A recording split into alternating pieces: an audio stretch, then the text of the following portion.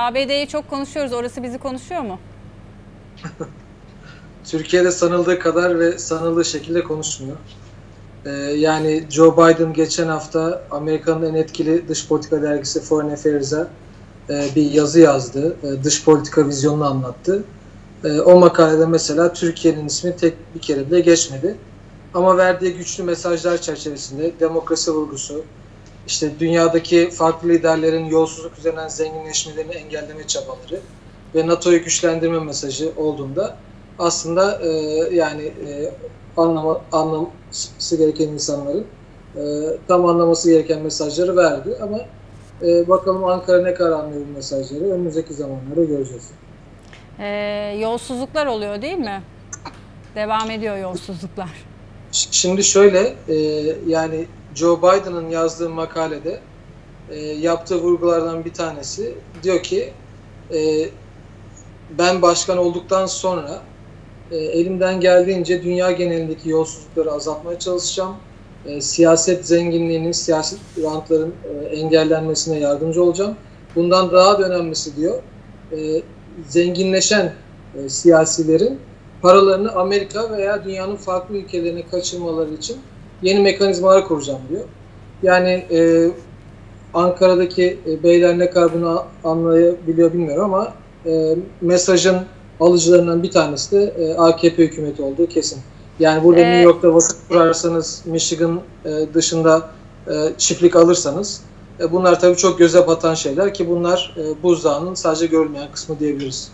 Yurtar Özcan bizde de siyasette her gelen biliyorsunuz yolsuzluklarla mücadele e, için gelir. Bir yüzüğü vardır, bir hırkası vardır. Sonra büyük zenginlikleri e, görürüz. Şimdi e, Joe Biden da aynı seçim kampanyasında bunları kullanıyorsa acaba sonra da kendisinin çok büyük zenginliğini görür müyüz? Başka ülkelerdeki çiftliklerini ya da zenginleşmelerini?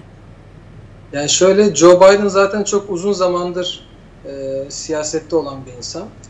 Ee, bakın Amerika ile ilgili birçok şeyi eleştirebilirsiniz. Ee, devletiyle alakalı tabii insanlarla alakalı söylemiyorum ama devletiyle ilgili, siyasetiyle ilgili, dünyanın çevresinde e, yarattığı e, işte savaşlar olsun, e, diğer e, olaylar olsun. Ancak Amerika hakikaten e, bir şey ortaya çıkarıldığı zaman üstü kapatılamayan bir ülke. Yani Amerika'nın öyle ilginç bir kısmı var. Zaten Amerika'da başınızın belaya girmesini istiyorsanız iki garanti yolu var. Bir, vergi kaçırın. E, iki, e, federal e, devlete yalan söyleyin. Bu ikisini yaparsanız e, başınızın belaya girme e, ihtimali yüzde yüzdür. Ki biliyorsunuz geçmişte e, en büyük mafya babalarından bir tanesi olan Al Capone'un işlediği ya da azmettirdiği hiçbir cinayete e, tam olarak tabii bu 70-80 yıl önce oluyor. Bulamadıkları için kendisini vergi kaçakçılığından e, ölene kadar hapse tutmuşlardı. O yüzden Amerikan devletinin ilginç bir e, işleyiş tarzı da var. Mesela ilaç şirketi sahibi e, birisinin e, Kaliforniya'da e, ilaç fiyatlarına fahiş fiyat uygulaması, insanları ölüme terk etmesi. Mesela bunun serbest pazar olduğu için o anlamda çok bir şey yapamadılar. Ama savcılık ne yaptı? Kendisinin başka açıklarını buldu ve onu yine hapse soktular. Yani Amerikan devleti birisinin peşinden gitmek istediği zaman e, mutlaka onu çok farklı yöntemlerle, doğru ya da yanlış, e, çok farklı yöntemlerle bunu başarabiliyor. Bu sadece Amerika için değil, Amerika dışında da geçerli. Yurtar Özcan peki FETÖ yapılanmasında e, bu inançla e, yapabilecek mi operasyonlarını? E, ABD'de FETÖ operasyonları başladı diye bir haber e, düştü. Bu, dünden bu yana da konuşuyoruz. Var mı böyle çalışmalar? E, Şule Hanım şöyle, şimdi biraz önce söylediğim iki şey vardı hatırlarsınız. E, vergi kaçırmak ya da federal devlete yalan söylemek. Şimdi buradaki FETÖ yapılanmasının e, birçok e, parçası bu iki suçu da aslında işledi. E, yani nasıl işledi? Burada charter schools denilen ABD'nin özellikle kırsal bölgelerinde, devletin yetişemediği coğrafyalarda devlet desteği alarak, devlet fonu alarak kurulan yarı özel, yarı özel okullar var. Buradaki FETÖ yapılanmasının en büyük gelir kaynaklarından bir tanesi oydu. O okullar üzerinden kendi FETÖ üyeleri e, Türkiye'den buraya getirilmesinde çok büyük bir rol oynadı. E, İngilizce bilmeyen insanlara burada öğretmenlik için vize aldılar. E, yani normalde matematik öğretemeyecek insanlara sırf kendi üyeleri diye, cemaatlerin üyesi diye burada vize aldılar. Bunların hepsi aslında birer federal güç. E, bu nokta üzerinden gidebilir. Hatırlarsanız geçtiğimiz haftalarda e, buradaki FETÖ üyelerinin birbirleriyle de kavgaya tutuştuğu da e, basına yansıdı. Bunu Oda TV'de de e, geniş olarak yazılmıştı. Onun sebebi de tabii e, yani hani bir laf vardır ya işleri giderken ortaklık iyidir, işler kötü gidince ortaklık bozulur. Burada tabii rant kavgasına da dönüştü. E, yani büyük paralar Türkiye'den buraya getirildi. Bunların birçoğu Türkiye'nin aslında 83 milyonun e, hakkı olan kamu kaynaklarındır. Bu kaynakların buraya aktarılmasında çok uzun yıllar boyunca e, FETÖ cemaatine ya, da FETÖ yapılanmasına aktarılmasında e, AKP hükümetinin hataları da vardır. Mesela ben hatırlıyorum e, kavgaya tutuşuncaya kadar burada Şule Hanım bir konferans yapardı. Gülen cemaati tabii o zamanki adıyla üyeleri. Sponsorlara bakardım. Türk Hava Yolları, Halkbank, Vakıfbank, Türkiye'nin önde gelen holdingleri, işte bakanlar gelirdi, başbakanlar gelirdi, cumhurbaşkanları gelirdi. Yani normalde birkaç yüz bin dolar tutacak bir etkinliğe 10 milyonlarca dolar para e, yağardı. İşte şimdi o paranın e, günahını ödeyecek burada e, FETÖ cemaati üyeleri. E, ben bu e, sürecin daha da artacağını düşünüyorum.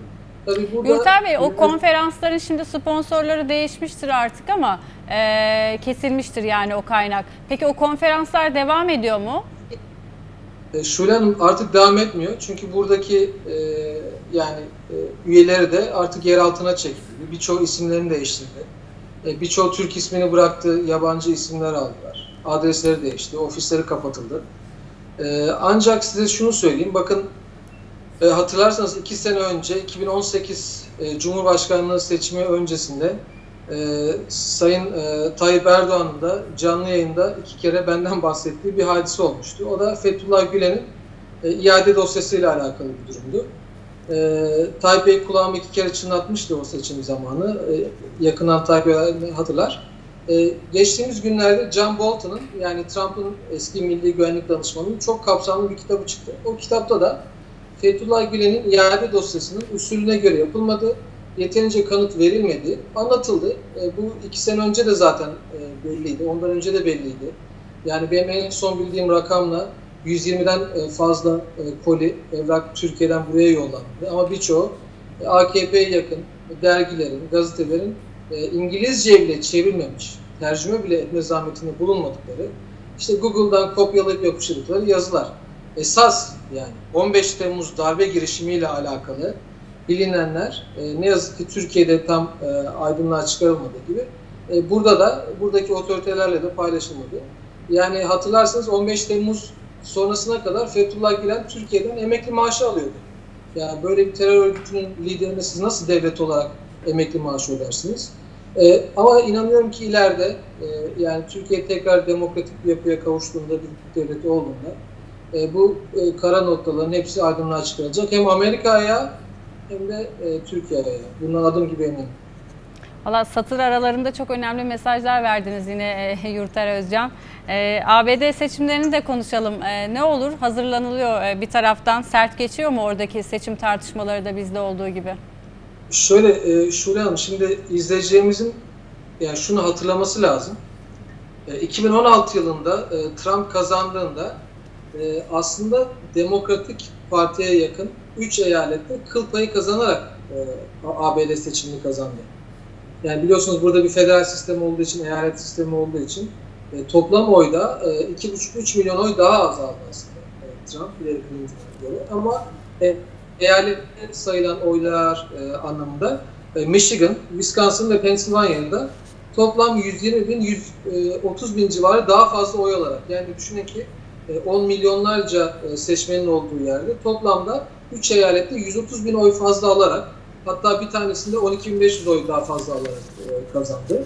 Yani Trump zaten çok böyle gümbür gümbür iktidara gelmiş bir başkan değildi. Yani şunu da söylemek lazım. Amerikan tarihine baktığınızda birinci dönemini bitirip ikinci dönem aday olan insanlar arasında 3 kişi dışında bugüne kadar herkes seçimi kazanmıştı ikinci dönem için. E, Trump eğer e, Covid-19 salgını olmasaydı e, benim öngörüm bu sene çok rahat bir şekilde kazanırdı. Ama Covid ile ilgili çok ciddi sıkıntılar Amerika'da var. Biliyorsunuz e, 5 milyondan fazla vaka var. E, 175 binden fazla insan öldü ki bu 175 bin e, Amerika'nın, e, Hanım, Birinci Dünya Savaşı, İkinci Dünya Savaşı ve Vietnam Savaşı ve Irak Savaşı'nda toplamda daha fazla kaybettiği insandan daha da fazla, 175 bin kişi. Ve bu rakam ne yazık ki sürekli artmaya devam ediyor. Ee, ekonomide çok ciddi sıkıntılar var. 35 milyon işsiz var. Ee, ne yazık ki bu kaybedilen işlerin, e, bu e, yani yıkıma uğrayan e, bazı sektörlerin geri dönüşü olmayacak. Yani Amerika'da yakın bir zamanda siz restoranları, tabii dünyanın diğer ülkelerinde olduğu gibi, e, asla full bir restoran görmeyeceksiniz. E, full bir otel görmeyeceksiniz. Full bir uçak görmeyeceksiniz. Yani bütün bu işlerin işleyişi e, ve e, modellemesi değişecek. E, ben önümüzdeki birkaç ay içerisinde e, eğer e, Trump kazanırsa iki sebepten dolayı kazanabilir. Bir, katılım çok düşerse bu Cumhuriyetçi Parti'nin yani Trump'ın lehine olur. Biliyorsunuz Türkiye'de genelde %85 ile %88 arası bir katılım olur. Amerika'da biz, ben 20 senedir Amerika'da yaşıyorum. Amerika'da %50-%55 civarıdır genelde katılım oranı. E, eğer onun daha altına inerse bu e, Trump'ın e, lehine olur. Bu bir. İkincisi Amerika'da Türkiye'nin aksine e, buradaki posta e, servisinde yani Amerika'nın PTT'si diyelim e, güven genel olarak çok yüksektir. Yani Amerika'da hemen hemen her şeyi posta aracılığıyla yapabilirsiniz. E, genelde kaybolma e, vesaire zarar görme şeyler çok olmaz Amerika'da. Genelde güvenli bir sistem, büyük bir ülke olduğu için. Yaklaşık şuradan 80 milyon insan oyunu posta aracılığıyla e, zarfla kullanmak e, istediği ortaya çıktı. E, Trump'ın da en büyük korkusu bu. Çünkü bu katılımı arttıracaktır. E, bu postayla kullanan insanların da daha çok Demokrat Parti seçmeni olduğu bazı araştırmalarda ortaya çıkıyor. E, bu da Trump'ın aleyhine. Peki Trump ne yaptı? E, diyebilirsiniz ki Türkiye'yi e, hatırlatan bir hamle. E, Haziran ayının ortasında kendisinin çok yakın bir arkadaşını ve kendisine e, 2016 kampanyasında milyonlarca dolar para harcamış birisine e, getirdi. Amerika'daki e, posta e, diyelim PTT'nin e, başına e, getirdi ve bazı engelleme yolları üzerinden e, bu işleyişi engellemeye çalışıyor. Ama Amerika'da bunun ne kadar tutacağından emin değilim. Çünkü Washington'da oturuyor. E, yani buradaki posta hizmetinin başındaki insan. Benim evime de yakın. Hemen hemen her gün e, Kalamar'daki evinin önünde protestolar var. E, ve e, kendisi ABD Kongresi'nde Senato önünde ifade vermeye çağrıldı. Yani bu e, 80 milyon insanın e, oyunu posta yoluyla kullanırlarsa zarf atarak bu kapasiteyi nasıl arttırılacak? E, 25 milyar dolar civarında bir para vaat ediyor ABD Kongresi o kapasiteyi arttırmak için, sistemi hızlandırmak için. E, orada tabii artık yer adım atmak zorunda kalıyor. Dedi ki e, seçim süresi boyunca e, oy kullanım zarflarını öncelik haline getireceğiz.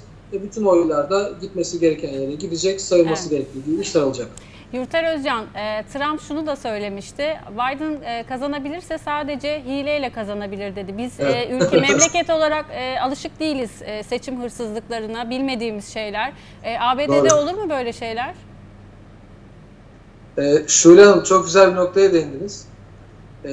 Trump 2016 seçimlerinde bir gün önce de seçimlerden bir gün önce Kasım ayında yine aynı şeyi söylemişti biliyor musunuz?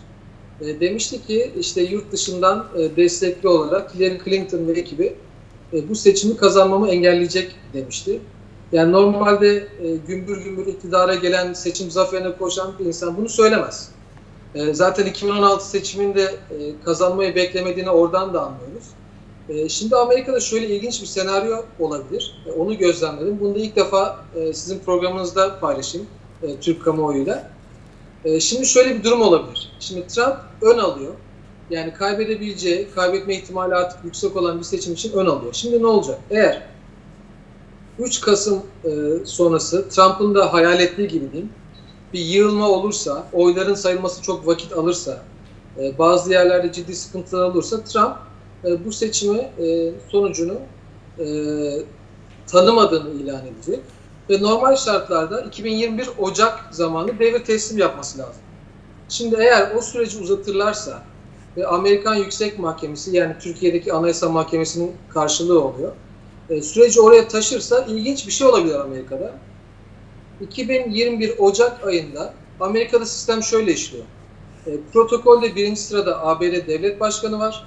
ikinci sırada yardımcısı var. Üçüncü sırada da e, House of Speaker denilen Temsilciler Meclisi'nin e, başkanı. Eğer Trump Ocak 21'de e, olabilecek potansiyel sıkıntılardan dolayı bu süreci tanımazsa, seçim sonucunu tanımazsa ve mahkemelik olurlarsa 2021 Ocak ayında Amerika'da şu an ve o zaman da olacak Temsilciler Meclisi Başkanı Nancy Pelosi yani Kaliforniyalı demokrat bir kadın e, geçici süreli de olsa ABD Başkanı olabilir. Bu ihtimalle konuşulmaya başladı Amerika'da.